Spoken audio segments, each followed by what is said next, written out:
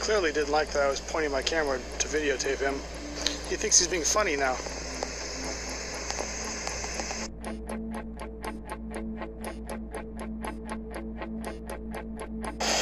Go take your hand out of your pocket. Okay? No, sir, I haven't done nothing. I've done absolutely nothing. No. Hey, seriously. Put your gun down, really? Edward 10. Don't mean nothing. This one's really got a gun on me. No. You don't touch me. You don't touch me. I'm at that address. Making a unit. You don't touch me. Hey, man. No, you don't touch me. When I tell you to take your hand out, I've done nothing. okay? Nope. You need to relax. What have I done? Why'd you get out of your vehicle? You're taking a picture of me.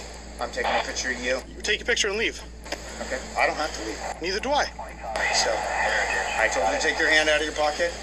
I just want to make sure you don't have a weapon. You know I don't have a weapon on me. Okay? I don't know that. Uh, you do that. I'm completely clear. Wrong. You have your gun out because you're a police officer. You're trying to intimidate me, and this is going all over YouTube. What's wrong with you? Your station is corrupt. Oh, okay. Are you some kind of a constitutionalist, No, sir. crazy guy, or something like that? Is that your? Is that what you're going after? Is that where you're going? I'm, Are you throwing claims around?